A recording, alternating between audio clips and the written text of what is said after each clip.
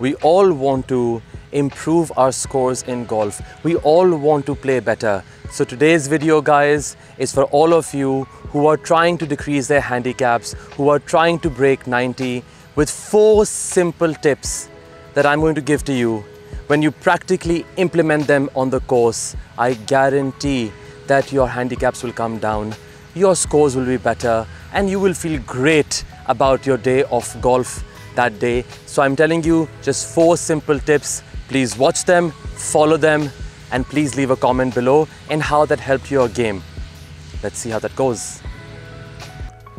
So guys, tip number one, very importantly, always aim for the center of the green. Whether you're playing on par 3s, whether you're approaching to a par 4 or a par 5, do not go for that hero shot because the flag is on the right or flag is on the left as it is behind me.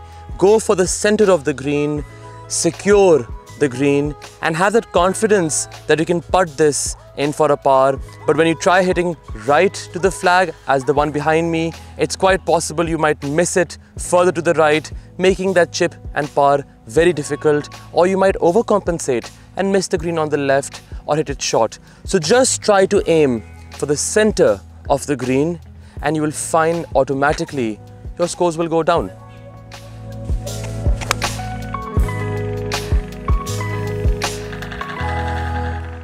So tip number two, and keep this in mind, it will really help you. Because you know, we all as golfers hit that one shot so flush on the club. It goes the distance you want or even goes more than your usual distance. And after that you're thinking, oh wow, my 7 iron goes 175 yards and I'll keep hitting my 7 iron. Actually, that's where the problem comes in. I always say club up.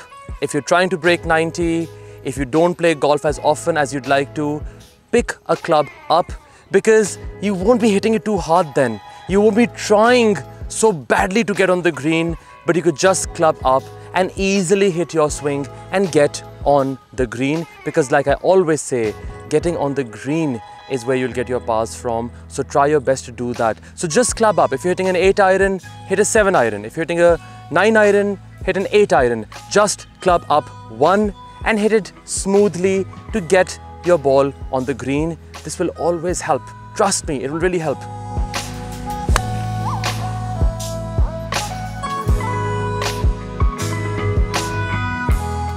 That is a perfect shot guys and this is ideally a pitching wedge distance for me and I casually hit my 9 iron to get myself on the green and I actually have a birdie putt on that shot. So club up, it will truly help you.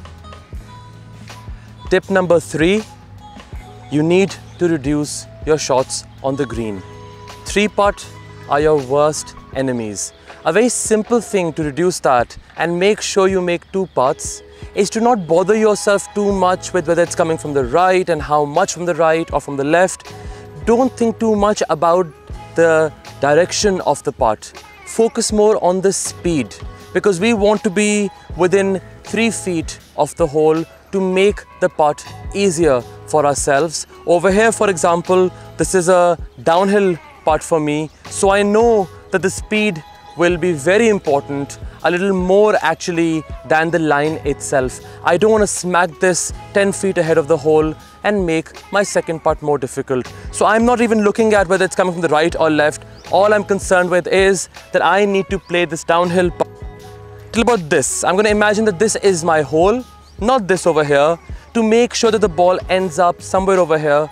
I'm okay with it stays behind the hole or ahead of the hole, but I want to make two putts.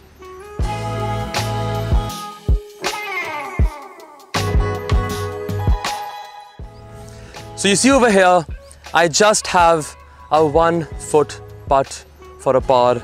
I can easily tap this in for a par and I've secured myself two putts and make a par on the green. So it's very important guys, do not go for the direction right now. Just go for the speed, focus on that. I'll post a link of a speed drill on the greens that I've posted before. Look at that, watch it, and I make sure that you will make two putts on the green and you will break 90.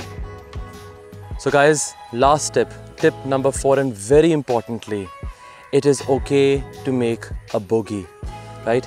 It is a passage of every golfer to come down in their handicap and decrease it. But you need to stop making the double bogeys and the triple bogeys. A bogey is good enough for us right now. The pars will come. So if you find yourselves in the bunker or in some rough grass or somewhere else where there's a tree in front of you, take your medicine, make a bogey, ensure a bogey rather as opposed to hitting that amazing shot that you might hit once in 50 times, right? Forget that. You want consistency as I always say.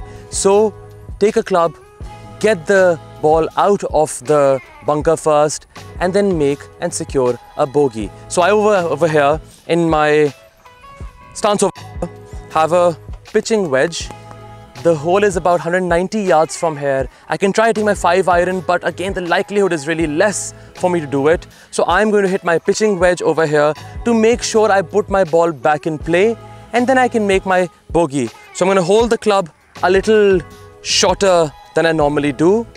I'm going to place the ball a little back of my stance and I'm going to just easily swing this, not right? I want to make sure that the connection is good.